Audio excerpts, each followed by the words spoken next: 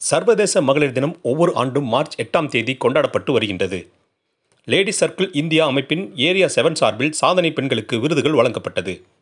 இந்த நாளில் பெண்களை போற்றவும் அவர்களின் தைரியத்தை ஊக்கப்படுத்தவும் அவர்களின் வெற்றியை கொண்டாடவும் பெண்களின் சமத்துவம் பற்றிய விழிப்புணர்வை ஏற்படுத்தவும் லேடி சர்க்கிள் இந்தியா அமைப்பின் ஏரியா செவன் முன்னெடுத்து வருகின்றது.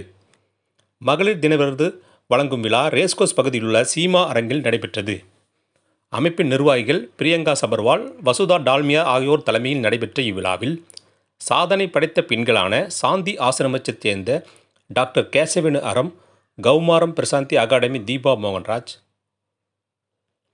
ஸ்வர்கா அறக்கட்டளை நிறுவன தலைவர் சுவர்ணலதா யுவா அறக்கட்டளை சசிகலா சந்திரா யங் இந்தியன் அமைப்பின் ப்ராஜெக்ட் மாசூன் தலைவர் ராஜலட்சுமி விஷ்ணு